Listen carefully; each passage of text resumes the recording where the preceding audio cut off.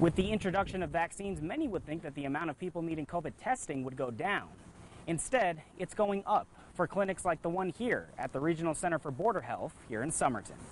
Here at Regional Center for Border Health in Somerton, there has been an increase in locals getting tested.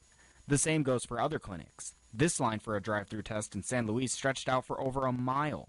The center says it's noticed an increase since the 4th of July weekend.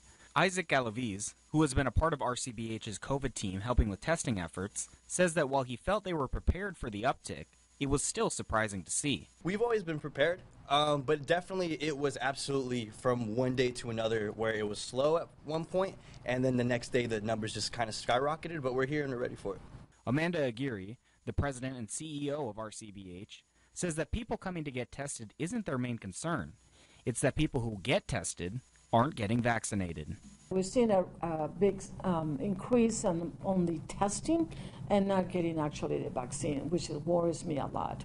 So we're going to do a bigger job to uh, convince people that um, they need to be vaccinated. In response, the center has sent more teams out to help speed up testing.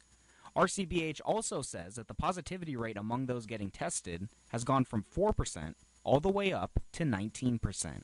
As of right now, the need for a potential booster shot may increase the amount of people needing to come to these clinics even more in the future. Reporting from Somerton, I'm Luis Lopez, 13 on your side.